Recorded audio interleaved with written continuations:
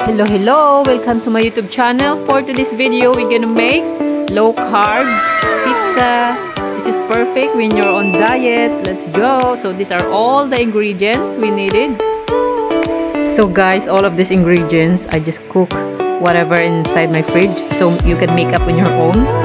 So as long as it's low carb. And guys, my husband loves it.